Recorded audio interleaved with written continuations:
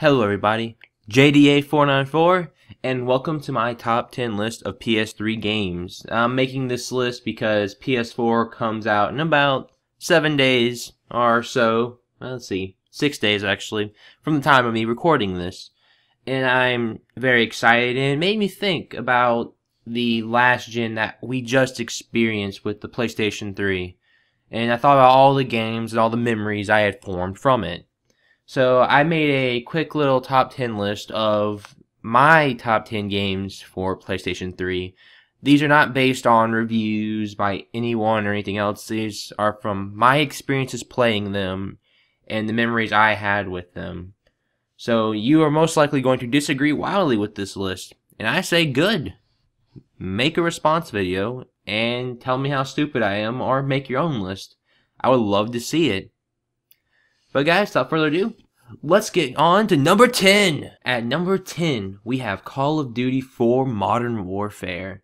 Now this game, when it came out, was a refreshing shooter for being in the modern age, unlike most other shooters that we've had in the PlayStation 2 era and early PS3 era. We had World War II shooters. So this modern shooter was actually a breath of fresh air.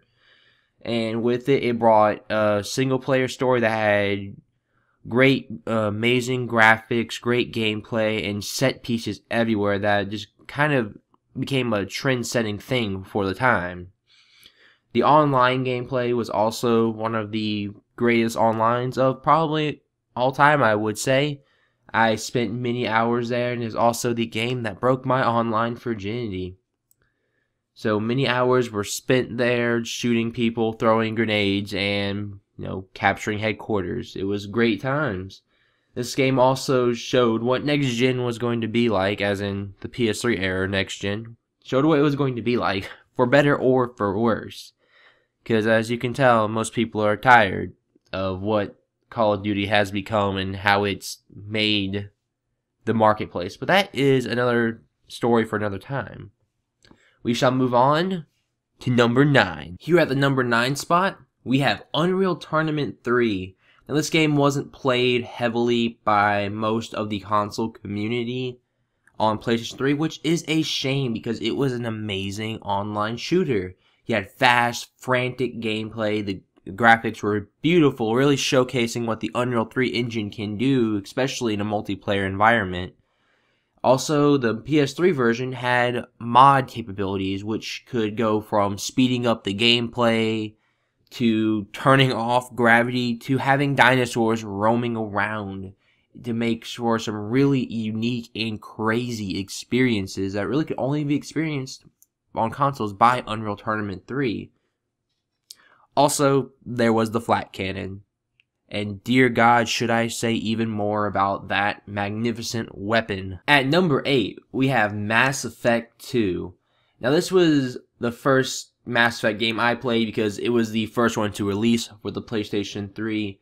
I had a lot of fun with this game. It was a great mix of RPG elements with shooter elements, and it works so fantastically with the great powers you could have. I played as a biotic, so you could charge forward and just slam into things as hard as you could and send them flying and you had always had two companions that you could pick who you take with you, you know, and you would build up relationships with these characters and it made the game feel unique for you. Sure, the choices were either, you know, A or B or C, pick the path you want to walk down. But when you actually were taking the different characters with you, it made it something more. Let's say if you took Garrus Jack instead of uh, the girl from Chuck, I can't remember her name now. I know it starts with M, or Talia, for example, you took them as opposed to the other couple I listed, you would have completely different dialogue options, some unique dialogue, and it made for just very unique experiences with yourself. Also, the story was very well delivered, you know, your typical sci-fi epic adventure. And also set up very well for the sequel, which we're not going to talk about. But moving on. Number seven. At number 7, we have Devil May Cry 4, which was one of the earlier games to release this generation, and dear God, was it a fun game to play. I'm a big Devil May Cry fan myself, so when this came out, I scooped it up, and it was just amazing. You had very fast, exciting combat with new mechanics like the Devil Bringer for the new character Nero, which really changed up how the battles played out from uh, compared to Devil May Cry 3 or Devil May Cry 1. Not talking about Devil May Cry 2, but it made him feel a lot different and it gave the game its own feel in the series. It made it feel great, and the boss battles were very huge and stylish, big flaming behemoths, crazy plant-like lady, which was kind of weird. Then you had big statue, and it was all very, very fun. And oh, it was just a great game to play. I kind of want to go play it now, actually. Here we go with number six, and it is the first Borderlands game. Now, this game was just upright ridiculous. Crazy amounts of guns that all had different abilities, different firing speeds, and a whole bunch of stuff like that. Kept the game feeling very fresh, even in the late game once you started settling on only really, really good weapons when you weren't changing out your guns every five minutes, like, ooh, piece candy, ooh, piece candy.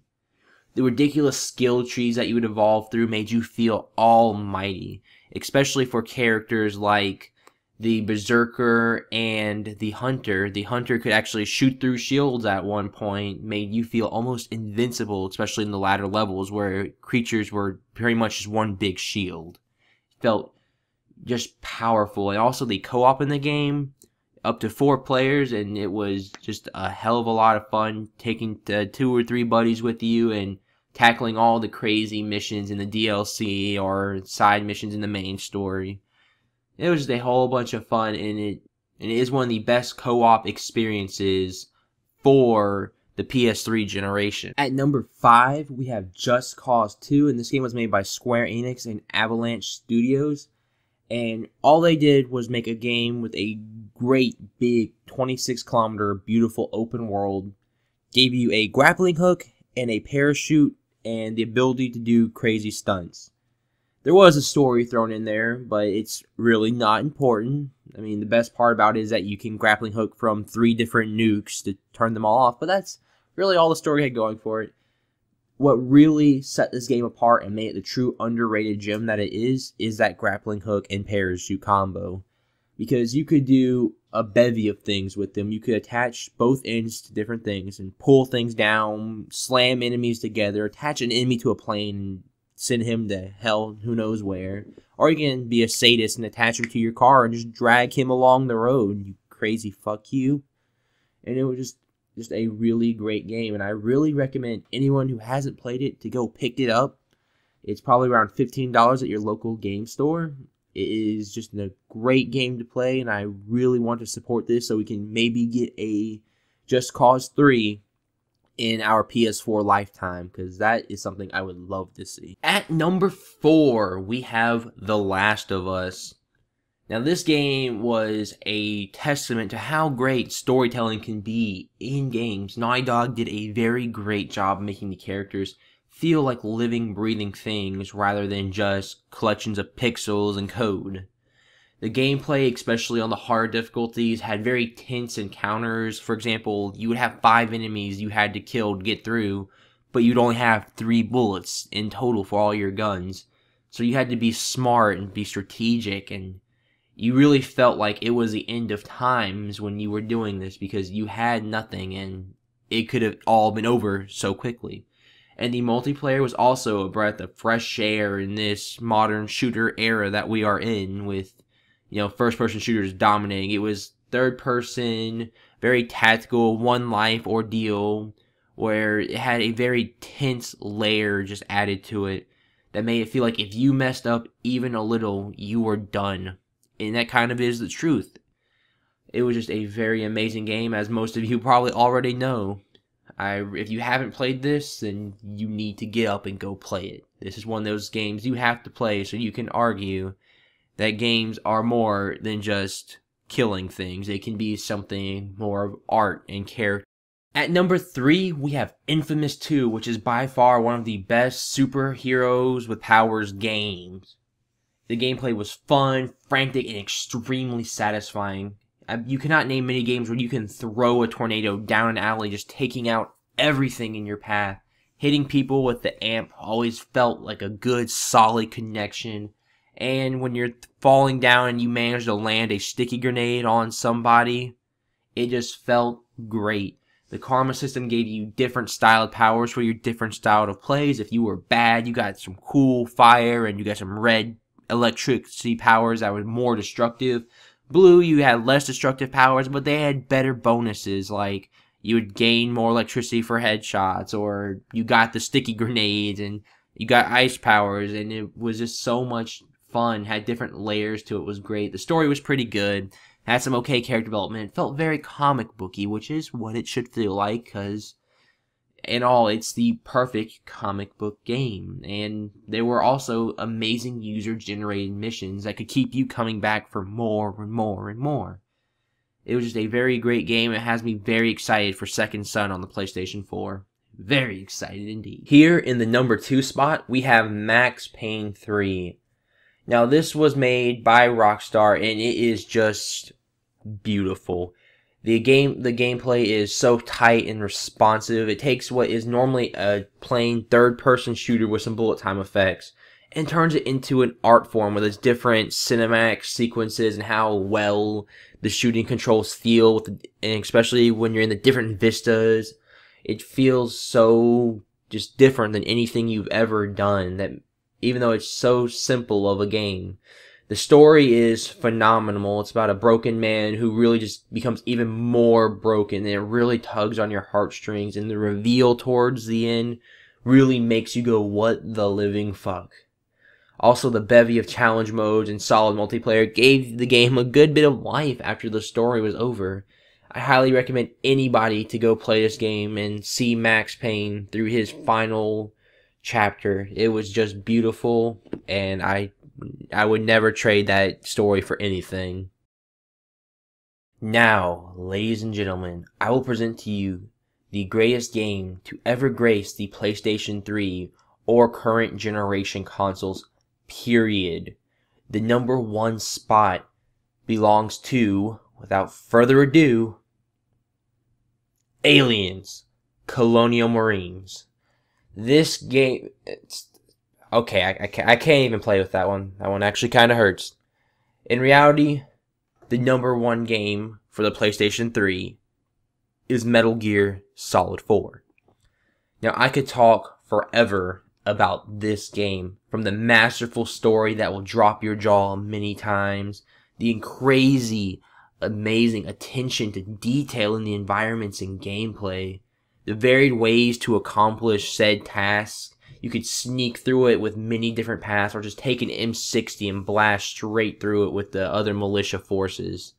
The boss battles were crazy from flying people to a, a wolf robot that was a sniper or laughing octopus, which is actually very creepy. And the uh, amazing multiplayer community that was with it for the first three or so years before it was shut down on Metal Gear Online was just phenomenal. This game has a very high place in my heart and is something that I will always come back to play no matter how old I get. It was the great send off to a great hero of mine, Solid Snake. Thanks everybody for watching my top 10 best PS3 games list. If you have a disagreement with me or you think my list is wrong, do remember this is in my own opinion and with my experiences. I may not have played all the games you have or had these same experiences.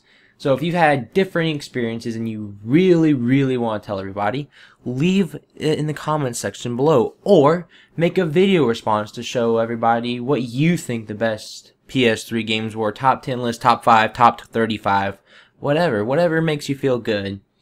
And guys, that is going to be it for me for now. I will see you guys in the next generation.